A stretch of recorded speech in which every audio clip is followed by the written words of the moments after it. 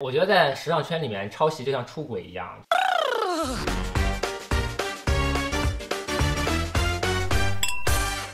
Hello，大家好，我是阿大，家好，我是你的乐乐。欢迎回来我们的头牌秀场啊！同时呢，也可以算作是一期填坑的大师系列你。还好意思说哈德阿克曼的这个坑，你已经挖了有一年多了。时尚圈的浪蹄子实在是太多了。嗯嗯，像哈德·艾克曼这种啊，每天吃斋念佛，偶尔给甜茶，穿穿赤色肚兜的男人啊，就是骚不过，骚不过，还是把热点让给年轻人吧啊！那今天我们为什么终于来填坑了呢？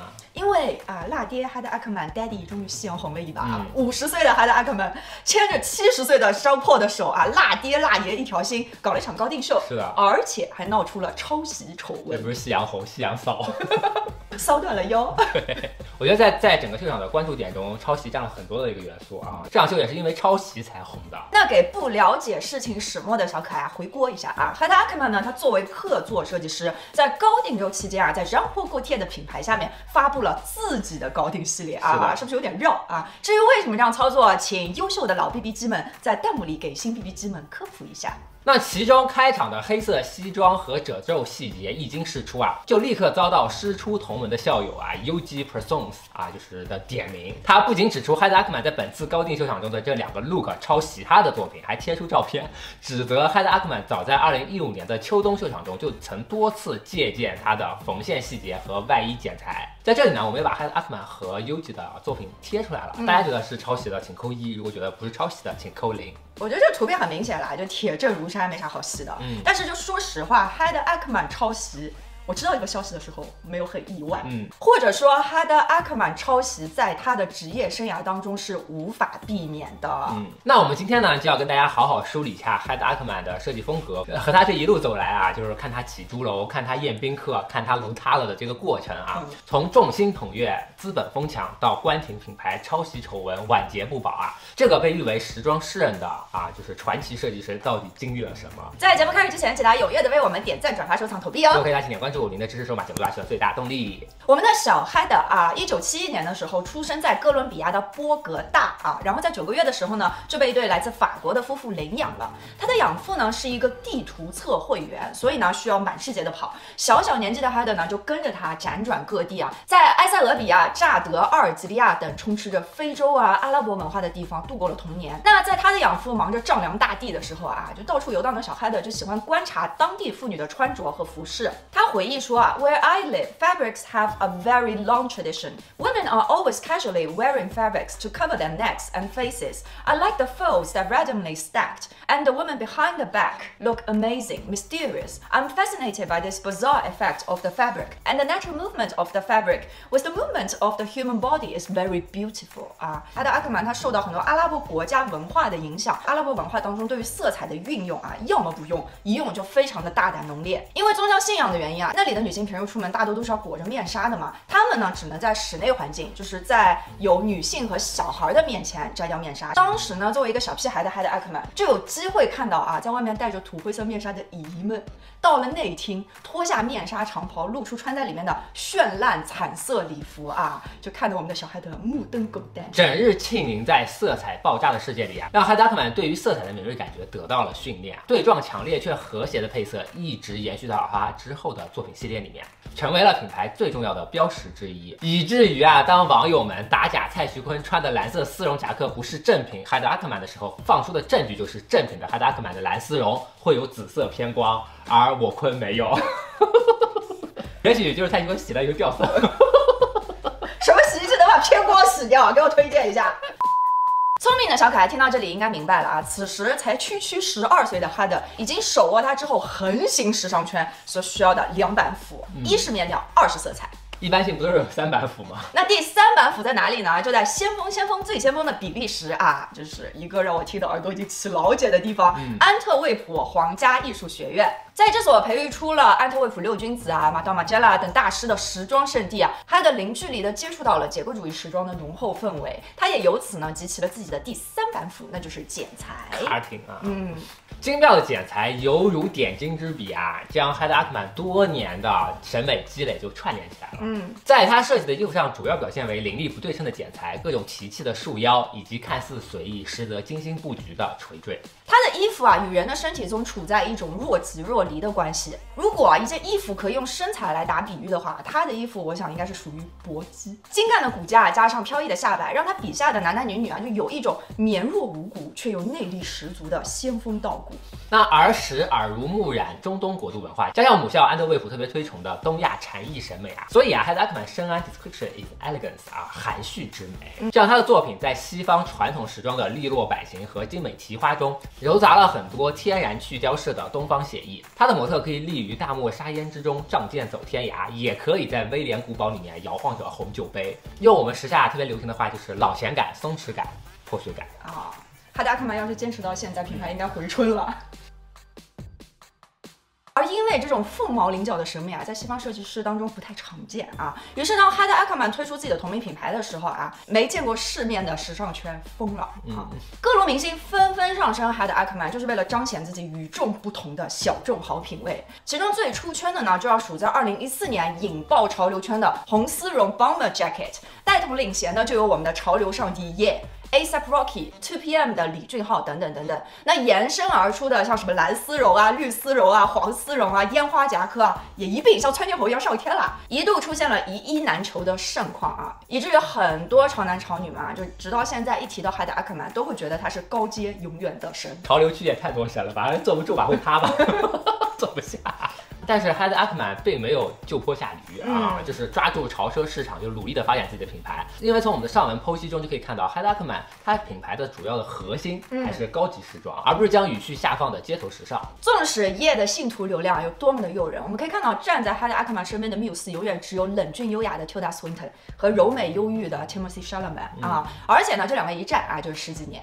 在本次 Jean Paul Gaultier 的秀场当中啊，虽然有比这两位流量更大、话题度更高的 Doja Cat 和 Kylie Jenner 到场，但但是和沙坡狗铁老爷子啊一起稳稳坐在核心小圈子座位的，还是只有 Tilda 和甜茶啊，都要看和 Kelly Jenner 坐的八丈远，坐在那个坐在网红区，坐在网红区，对啊，这样一对比，上一期的那个 Sky Rally，逼格有点虚。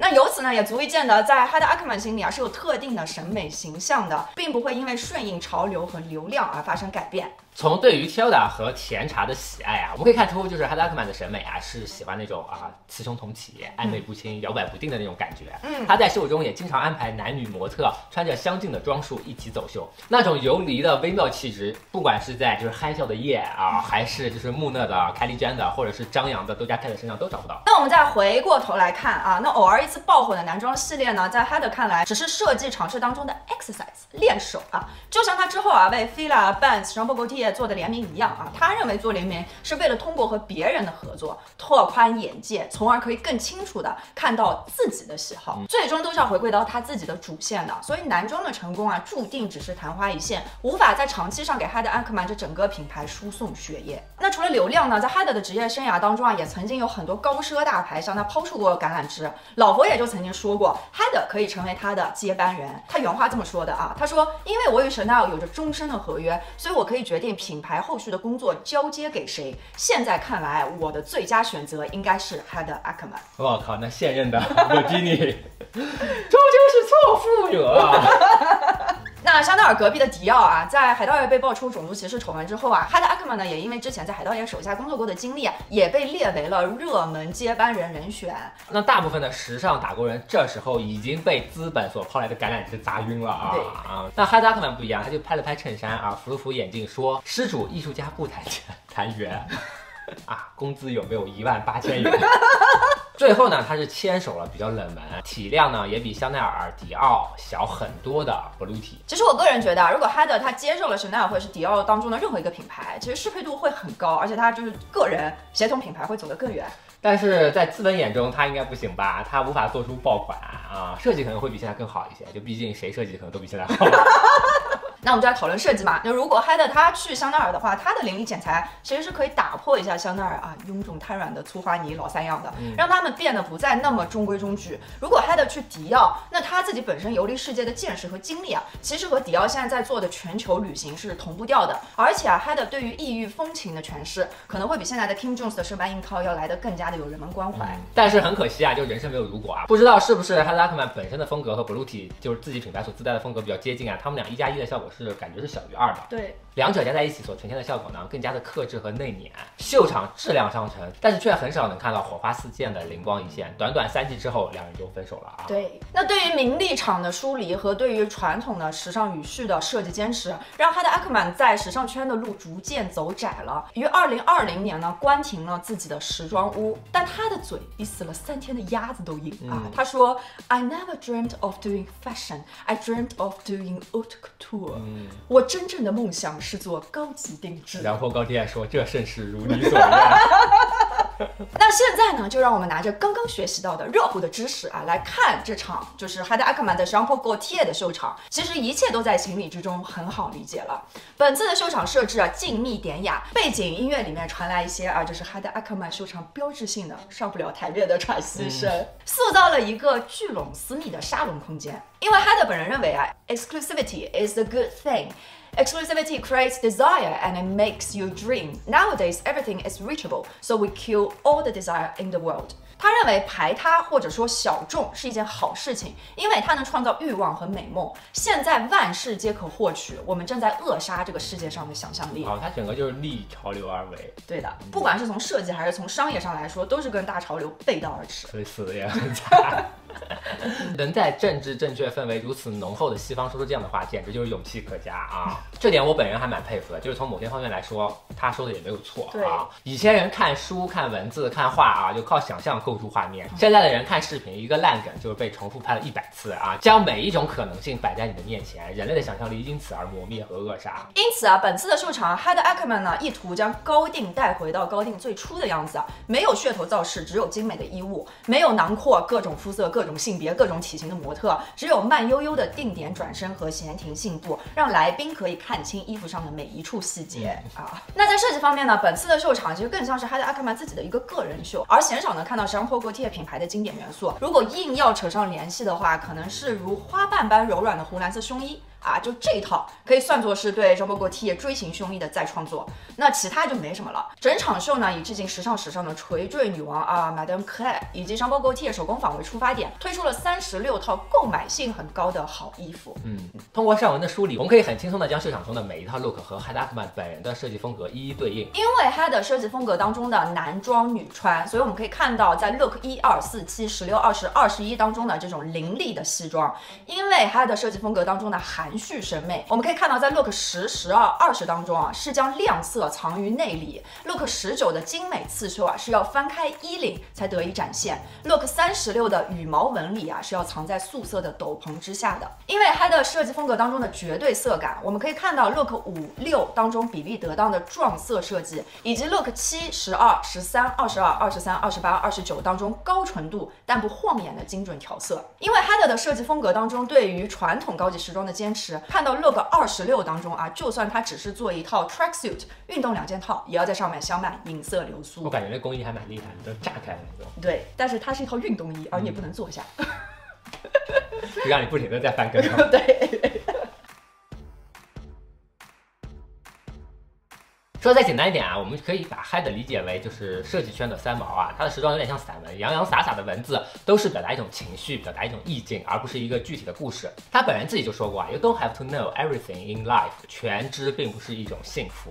在博物馆的时候，我并不想知道这个画背后的所有细节，只想欣赏这幅画的美丽啊。就是每个人都可以保持自己的观点，agree to disagree。嗯，这个在现在社会可是太难了。对，现代人不光要你站队，还要跟他站同一队。对，就不能允许跟他不一样的啊。对，如果要说。在本次秀场当中，他的明确站队的一个立场，那可能就是他在秀场音乐当中用了一首非常动人的歌曲，叫《b a l o e 这首歌呢是发布于去年的十月份，是为了纪念在九月发生的一件暴行而创作的。在九月份，年仅二十二岁的 Masa Amini 因为没有按照要求佩戴头巾，而被伊朗的道德警察谋杀。那这个事情呢，在伊朗全国和全球都触发了众怒以及女性权益的游行。那发布这首歌的歌手，就截止到今天，也因为这首歌被抓走了。我们看到在。秀场当中啊，悠扬的歌声配合着 Look 时期中的 Liberty 字样啊，模特显得悲壮而忧伤。那有意思的是，你其实也可以把这个 Liberty 字样理解为对于山坡沟贴老爷子著名香水广告词的致敬。如果你足够细心的话，你会发现，当 Look 时期下场的时候，这首 Balloy 的歌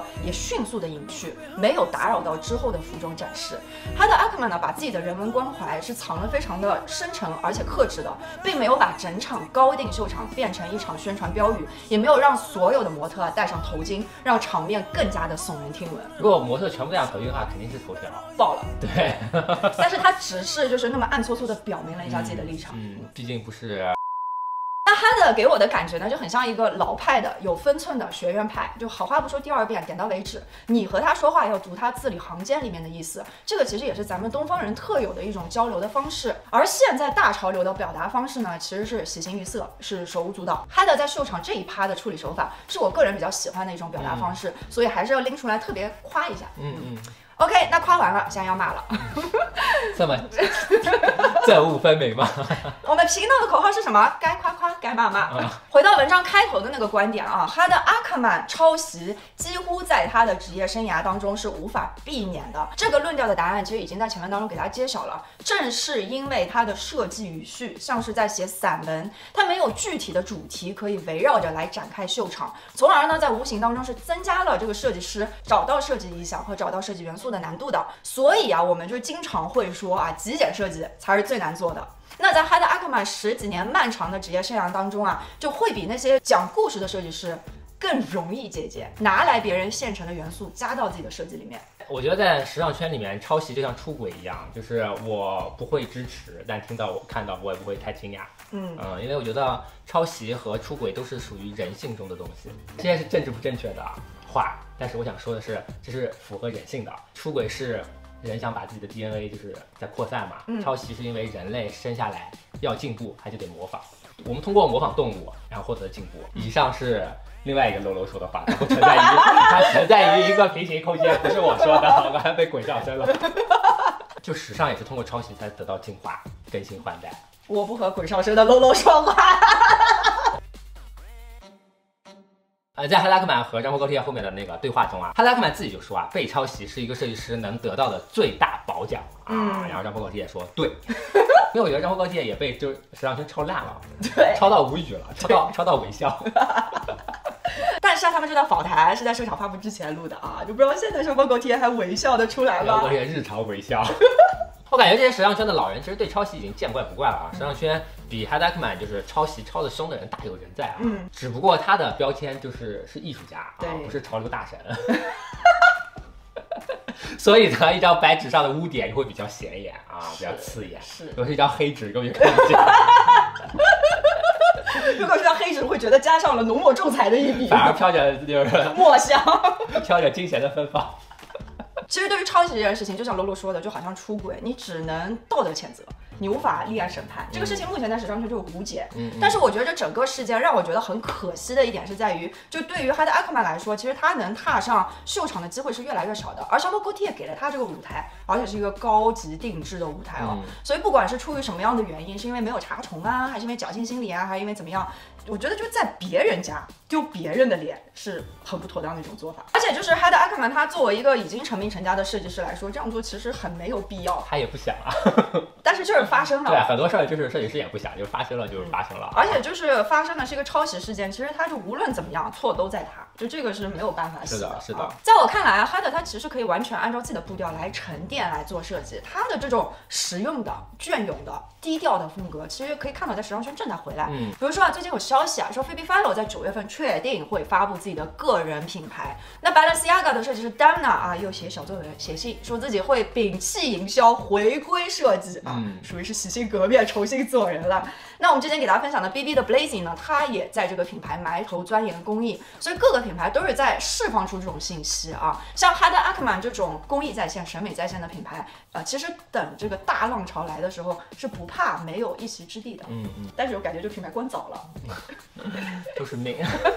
看完这场秀，我觉得衣服是好衣服，你们知道面料啊、剪裁都是好好东西。嗯但是呢，就相比于之前我们说的 Schiaparelli，就是它没有噱头，嗯甚至比上一场的那个呃奥利万胡斯坦那一场都没有那么有噱头。奥利万胡斯坦还就对着全巴黎直播呀，在阳台上招手什么的。对现在就是酒好也怕巷子深吧。对，嗯。奥利维·胡斯坦把门打开了对，他就又把门关上了。然后沟天这个高定时装屋就不停的开门关门开门关门开门关门，就希望山坡沟天下次要不请小马哥来一下，就嗯 note 一下。是啊，当然也欢迎大家在弹幕和评论里面就是积极的和我们分享一下你们的想法啊。嗯，我觉得就是以哈德埃克曼的这样的这个操作方式啊，嗯。他这个妙性啊，我是觉得可能之后收他的机会会比较少了。对，嗯所以且看且珍惜。好了，以上就是本期节目的所有内容希望大。家喜欢，如果你觉得本次秀场解析对你有所帮助的话，就请不要吝啬为我们点赞、转发、收藏、投币哦。都可以的话请点个关注，那我们下次头牌秀场再见啦，拜拜。拜拜。